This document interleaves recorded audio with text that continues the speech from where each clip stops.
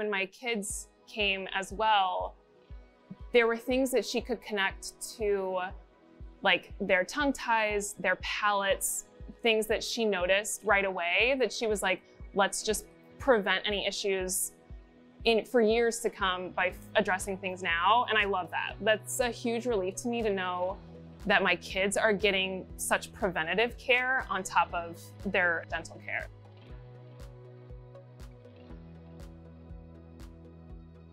So Birdie was a thumb sucker.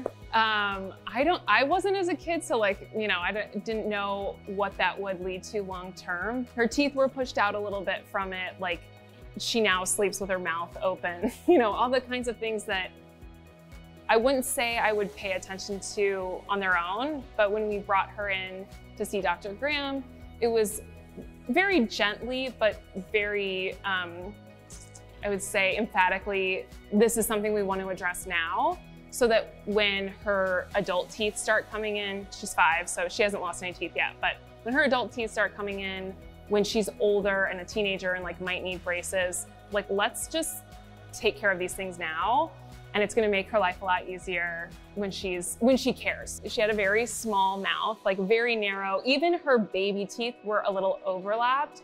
So you think like there's nowhere for adult teeth to fit in there. She has a top and a bottom palate expander.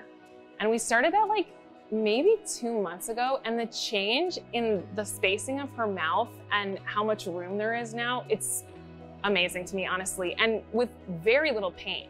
I was really nervous about that as a mom. Like, I don't want her to be scared of the dentist. I don't want her to think that like every time we go to the dentist, it's painful and scary and all that kind of stuff. But it was very, very minimal invasiveness so I'm, I'm super grateful we're getting this stuff in now and not having to worry about this when she's older.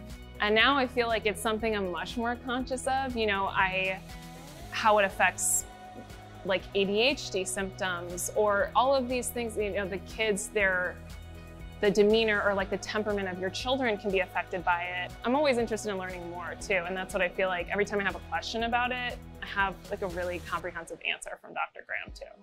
Mostly what I want for Birdie is to not have to experience anything that I experienced that I didn't know was connected. So again, the way that I've just thought of myself as a poor sleeper my whole life, I'd love it if she didn't ever have to feel that way. Like that's reassuring to me as a mom to think that that's not something she'll have to deal with. I'd love for her to prevent the levels of anxiety that I've had. You know, I'm hoping that good sleep affects all areas of her life I love even just the example that Dr. Graham sets. Honestly, like as a young girl, I love having my daughter see someone like Dr. Graham who's in the office, pregnant, and just like running the show. She is so knowledgeable, so engaging.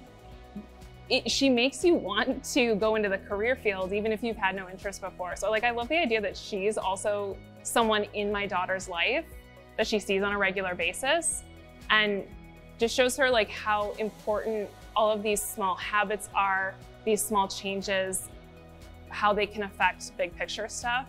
I think all of that is just really appealing.